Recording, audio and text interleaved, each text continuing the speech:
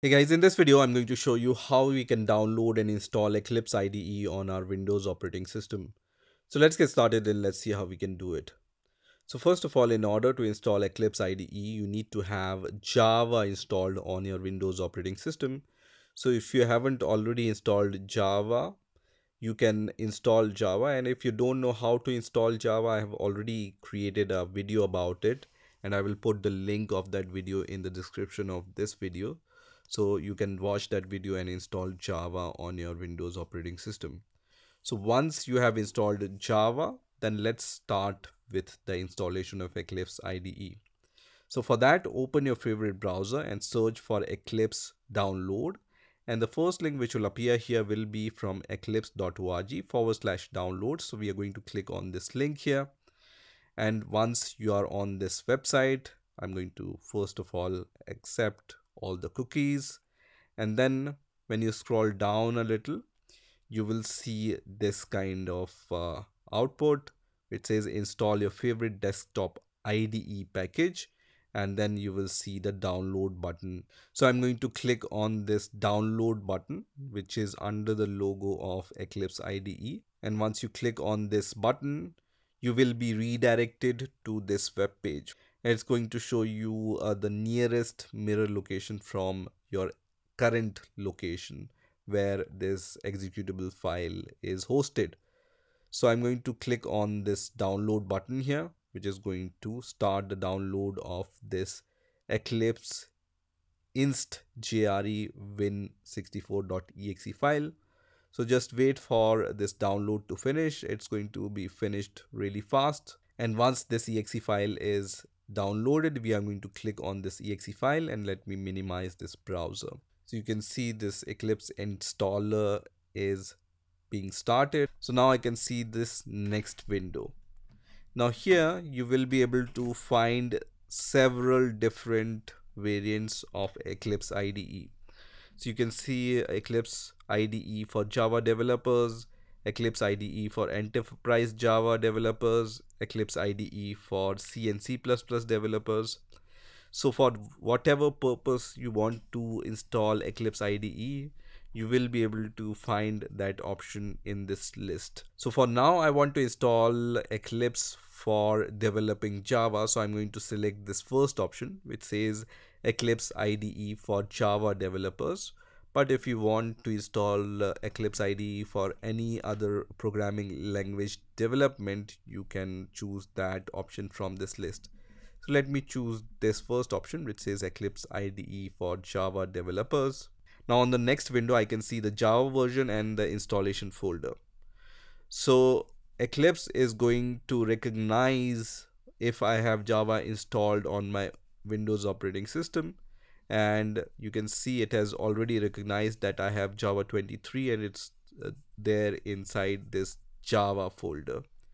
So I don't need to do anything. I just need to use this default version because I have already installed Java on this Windows operating system. Also, I can see uh, these two checkboxes. So just leave these two checkboxes as checked. What they are going to do is they are going to create the start menu entry for your Eclipse. And the second option is going to create the desktop shortcut for Eclipse IDE.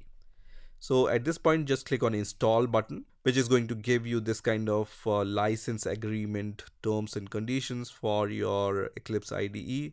So if you accept these license terms and conditions, just click on accept now button and then it's going to start the installation process. So at this point, you just need to wait for a few seconds until this process is finished. Now after a few seconds, Eclipse IDE is installed on our uh, Windows operating system and I can see this launch button now. So I can click on this uh, launch button which is going to launch the Eclipse IDE. You can see Eclipse IDE is being launched. And for the first time when you install Eclipse IDE on your Windows operating system, you will see the select a directory as workspace. So just leave this as default which means that Eclipse is going to save all your project in this uh, folder path, right?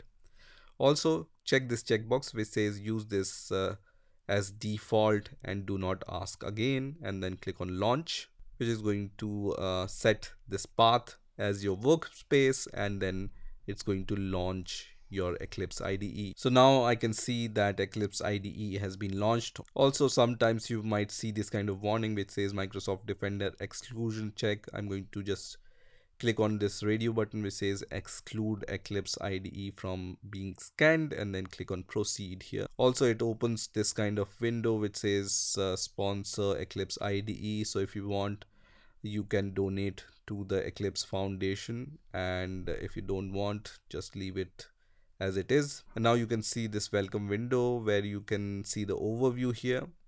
You can see some tutorials samples and then you can also see create a hello world application option here. Also you have the option to import existing projects and launch uh, the eclipse marketplace.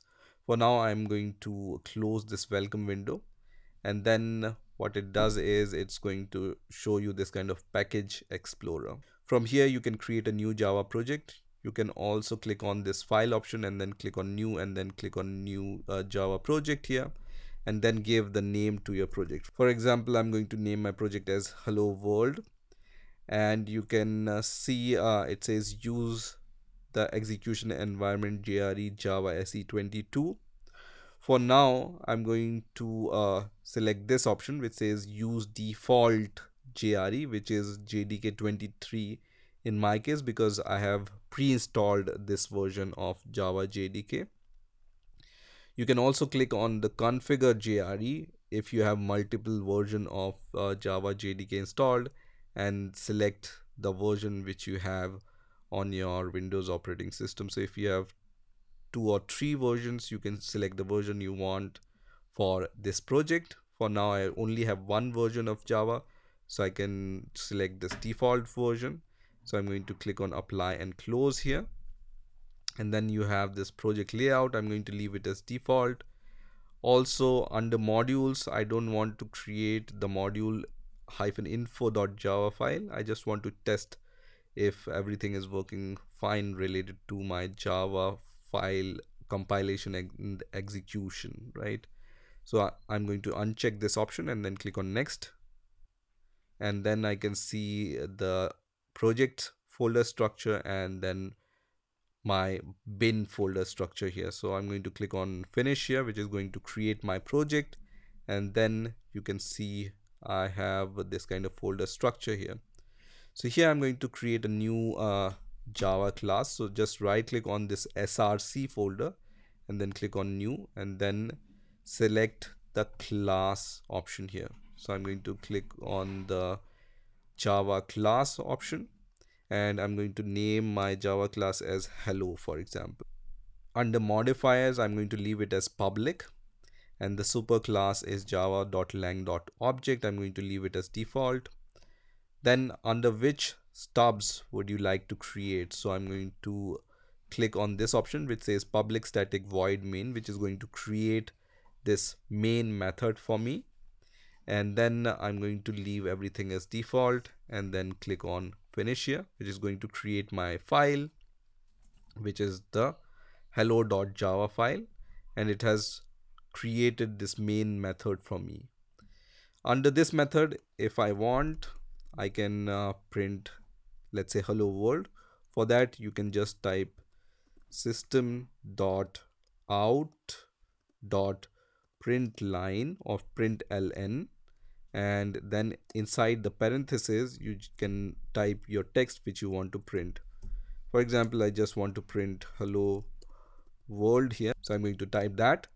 And then for running your program you can click on this option which says run hello.java so this is this green button here. So I'm going to click on this and then it's going to ask me to select the main file which is hello.java in my case. So I'm going to select this and then click on OK which is going to compile this uh, file and then show me the output. You can see I can already see this hello world output in the console section. That means everything is working fine related to my Eclipse IDE and I can create my Java projects and compile my Java files within my Eclipse IDE. So this is how you can install and set up Eclipse IDE on your Windows operating system. I hope you've enjoyed this video and I will see you in the next video.